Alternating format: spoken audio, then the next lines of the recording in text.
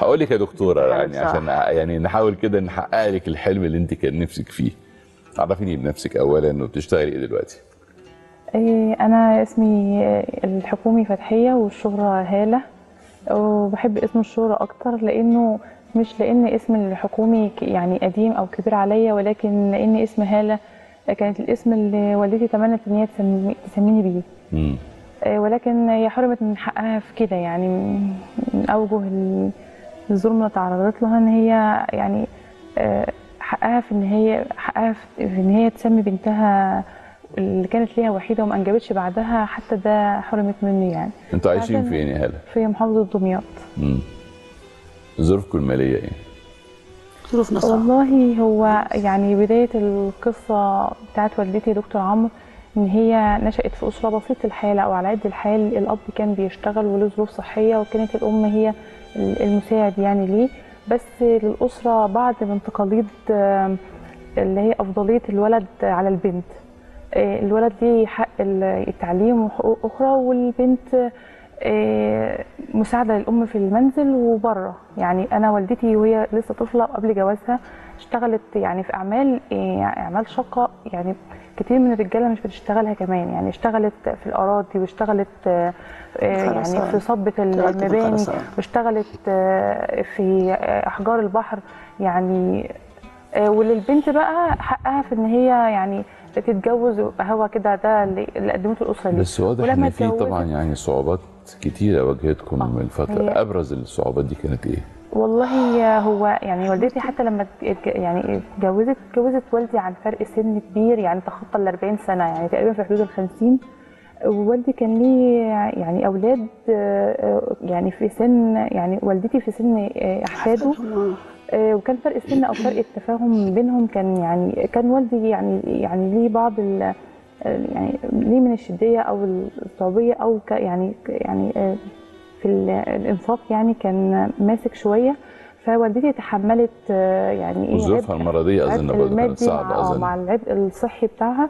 نزلت اشتغلت يعني هي أصلا أنجبتني بعد مرور كام سنة وما أنجبتش بعد لأنها أصيبت بسرطان الرحم وأثر بعد كده معاها في في العظم وأثر على مشاكل صحية تانية وظهر أورام في الكبد وكده. وعلى الرغم من ظروفها الصحية دي انها نزلت برضه تشتغل وتساعد يعني عندك سرطان وبتشتغي يا. والله بشتغل. اشتغلت يعني- في الاراضي واشتغلت في آه نزلت على الرغم والله من ظروفها الصحية عشان تكون والله سند اشتغلت ليا مادي ومعنوي. نفسي. هي مش أم كمان. بس هي هي أم وأخت وصديقة. بصراحة يا ست عظيمة لو بايدك دي أم المثالية والله. وتستاهل الأم المثالية على كل ده. مريض سرطان طبعاً. وبتكافح على بنتها عشان تعلمها وبتعالج وبتشتغل وهي مريضة سرطان كبد ربنا يديك والله الصحة. في جلطة في دهي في ال- في اليمين. كان نفسي تخش كلية طب؟ هي كانت الحلم اللي كانت والدتي عايشت علشانه. هي يعني اتحرمت من التعليم أو ما اتعلمتش إنما جواها إن هي لما تتجوز وتخلف تعوض اللي هي ما شافتوش من تعليم في بنتها. وإن أنا جيت لها بعد يعني بعد سنين طويلة وما انجبتش بعدي فأنا إنما جوايا إن أنا يعني أعوضها وأكون يعني هي هي موصفه ليا لما أنجبتني إن أنا طاقه النور أو يعني يعني ال ال ال الأمان أو العوض من ربنا بعد عذابها ده كله. فأنا يعني هي رسمت لي الطريق وأنا أنا خدت بإيديها وبيني وبين نفسي قلت لازم يعني أكون عوض ليها عن العذاب خدت اللي هي- قرار إزاي إنك تسيبي كلية الطب وتروحي تمريض؟ رغم إن ده كان حلم بالنسبة لك. هو أو إيه اللي خلاكي تعملي كده؟ أنا جبت المجموع ودخلت الكلية بس يعني مع وفاة والدي وإن مفيش سند لأمي ما عتلهاش لا ابن يعني لا زوج ولا ابن ولا أخ ولا ولا خال ولا عم ولا قريب من قريب ولا حتى من بعيد. مع ظروفها الصحية ومع إن هي بتداري وما بتحسسنيش بأي ظروف هي بتمر بيها أو ما تحسسنيش بألم ليها يعني آه، بيني وبين نفسي قلت آه، مش عايزاها تحس في وقت إن هي عجزت عن تلبية مستلزمات الكلية أو كده وإن أنا أحول للكلية اللي يبقى منها وقت إن أنا أشتغل بالجوار يعني وأساعدها وأكون ما أكونش عبء عليها مادي وصحي إضافي عليها. فاضطريت إن أنا أحول من طب لتمريض يعني كانت لحظة يعني يعني من أسوأ ومن أكبر صدمات حياتي. إيه- إيه اليوم اللي أنا حاولت فيه يعني في نفس الجامعة من طب لتمريض أنا حضرت سيكشن عملي وكان بيتقال لنا فيه من من المعيدين أو من الدكاترة بيقولوا لنا بيوجهوا لنا يعني يخبونا يا دكاترة ويا دكتورة.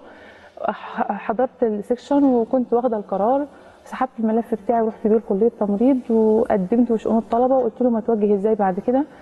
قالوا لي جدولك وشوفي انت محاضرتك فين. دخلت المحاضرة وكان في دكتورة بتشرح لينا. دخلت في المدرج. أنا مش عارفة حد قدامي ورايا وجنبي زمايلي. آه، نادت ال- الدكتورة بيمسات يعني من يا دكتورة ليا مس. أنا يعني ال- ال- ال- الحالة اللي أنا كنت فيها أنا ما بنساهاش. يعني خالص مهما حصل الدموع اللي يعني انهمرت من عينيا. ومع كل سنة في التنسيق مع فتح باب التنسيق أنا بيتفتح يعني جراحي يعني جرح إن أنا وصلت للكلية ويعني جبت المجموع ودخلتها وما قدرتش أكمل في الحلم اللي أمي هي نفسها كانت عايزاه وإن أنا قررت كده برضو علشانها يعني ما أنا ما مهما عدى عليه أنا ما بنساش اللحظة القاسيه دي. ندمانة إنك أنت عملت كده؟ لا مش ندمانة لأن اللي- ضحت بحياتها وعمرها آه، علشاني آه، مهما أعمل ومهما أقدم ما, ما يجيش أي حاجة في اللي هي في اللي هي قدمته لي واللي سعت وشقت آه، وكبرتني ووصلتني ليه بس أنت إنسانة مضحية على فكرة وعايز أقول لك يعني ربنا أكيد هيجازيكي خير. ضحيتي بحلم حياتك في سبيل إنك أنت ترعي أمك. وهي تفتكر إن ده هيعدي كده؟ لا ربنا هيديك إن شاء الله أكبر ثواب. أخبار الصحية إيه دلوقتي؟ وانت بتراعيها. والله هي من يعني هي والدتي مبتلى صحيا جدا. يعني بدأ معاها ال ال ال يعني المشوار الصحي بتاعها بسرطان في الرحم أثر على العظم عندها وظهور ورم في الكبد واستأصلته. وبعد كده في مشاكل في الصدر والقلب. يعني الوضع الصحي صعب حبتين يعني. عايز تقولي لها إيه النهارده؟